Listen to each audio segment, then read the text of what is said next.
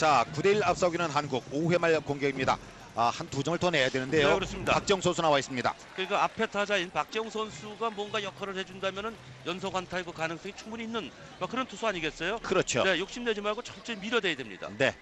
투수는 에, 미아다 세 번째 투수입니다. 타석에는 박정 3번 타자. 오늘 에, 2타수 2안타. 네 번째 타석. 또 네, 볼입니다. 지금 잘 골랐어요. 원투. 저런 느린 공을 그 참는다는 게 타자로서 굉장히 어려운 겁니다. 네.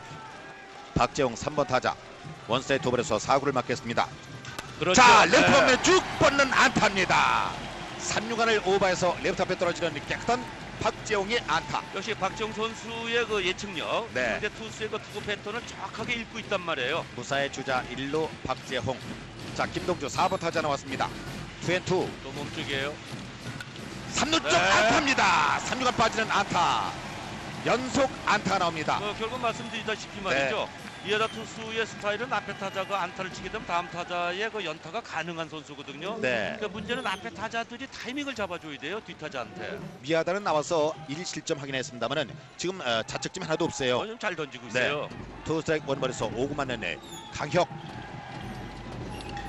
삼유간 코스 빠집니다. 오마이 자 2루 주자 3루 들어서 홈으로 돕니다. 홈인 네, 강혁 적시 네. 안타. 역시 빨라요 우리 선수들이요. 10대 1 그리고 어, 무사의 주자 1, 3루입니다. 그러니까 3연속 말이죠. 안타. 무사의 주자는 1, 3루. 이번 어, 아, 아마추어 경기는 결승전도 콜게임이 적용이 됩니다. 원앤원 3구를 맞는 백재호 6번 타자.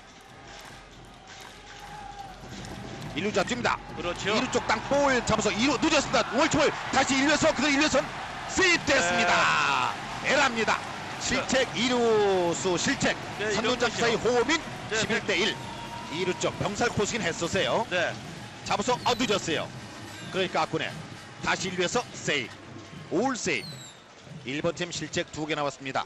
미아다 그러니까 물러납니다. 결과적으로 조직력이 무너진다는 것은 뭐 이제는 뭐 의욕이 완전히 떨어졌다 이렇게 봐야겠죠. 네, 에, 투수가 바뀝니다. 자, 일본 팀은 네 번째 투수가 올라왔습니다. 어, 투수는 다카시 이, 히사노리. 네, 다카시 선수의 주무기는 역시 체인지업인데 네. 특히 오른손 타자일 경우에 그 바깥쪽으로 흐르는 체인지업만 조심하면 됩니다. 방어율은 8.64입니다. 에, 심재학 7번 타자입니다. 왼쪽 타석에는 심재학 선수. 무사의 주자 2루와 1루에 나가 있습니다. 아 지금 번트인데요. 3루 쪽 기습번트. 3루 잡아서 1루에 송구 아웃됐습니다만은 원아웃의 주자 3루 2루가 됐습니다. 조인성 8번 타자.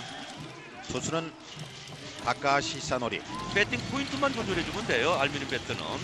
two and two 6구 맞습니다. 아 그대로 맞았어요. 센터 앞에 네. 안타입니다. 숏 오버 third runner 홈인 다시 2루 주자 홈에 들어옵니다. 두 점 더 추가.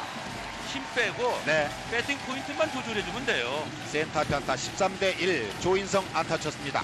네 뭐 이런 추세로 가면 골프게임이에요. 그렇습니다. 그러니까 지금 가볍게 배팅 포인트만 앞에다 놓고 조절해주면 되거든요. 네 13대 1로 한국이 앞서고 있습니다. 주제는 1번